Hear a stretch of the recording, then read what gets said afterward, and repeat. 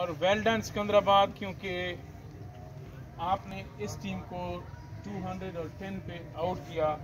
ये एक बहुत बड़ी कामयाबी थी आप लोगों के लिए। इसके लिए क्लैप करें। अगली बात बात लेकिन सेल्फ बिलीव की कमी की वजह से आपने मैच नहीं जीता, वरना कमर मुशानी ने आपको मैच दे दिया था। 210 इस विकेट पे चेज होने वाला था।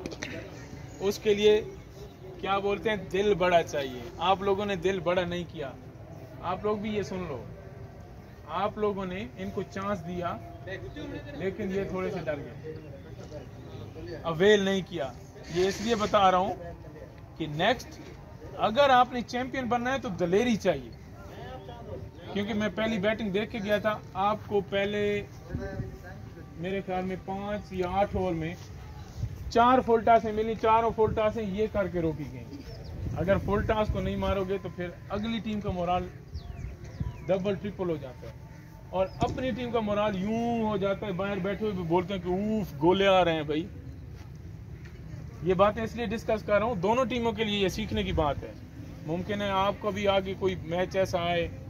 इनशाला आपने कजाफी तक जाना है ना? इन्होंने जाना कि आपने जाना है?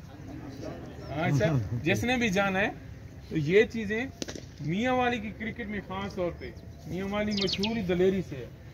तो आप लोगों ने दलेरी दिखानी है। हार जीत गेम का हिस्सा है। हार जीत को बिल्कुल कभी जेन में नहीं लेना जो लोग शिकस्त से डरते हैं, वो कभी कामयाब नहीं होते। इमरान खान के डिस्ट्रिक्ट क्यों भाई।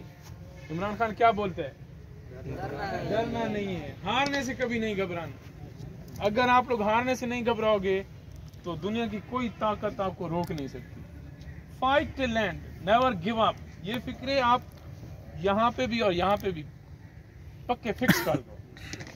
तो शाबाश वेल डन एक अच्छी गेम देखने को मिली। स्पेशल क्लैप करना चाहिए मिनहाल के लिए और शबाब के लिए। आउटस्टैंडिंग एफर्ट और काफ़ी सारे बच्चे अच्छा खेले हैं आज।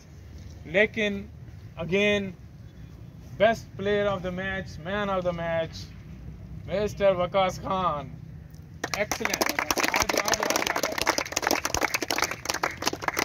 cameraman की तरह सबसे पहले तो बहुत बहुत मुबारक हो, क्योंकि रेगुलर परफॉर्म करना क्रिकेट में चैंपियन वही होते जो रेगुलर परफॉर्म करते हैं। आउटस्टैंडिंग हंड्रेड के बाद आज आपने फिर शो कराया कि वो वैसे नहीं मारे थे। आप में क्वालिटी, आप में टैलेंट है और आपने सबको नॉकआउट करना है 81 की आउटस्टैंडिंग इनिंग्स एक मुश्किल वक्त में। तो वेरी वेल डन अभी आप फिर अपना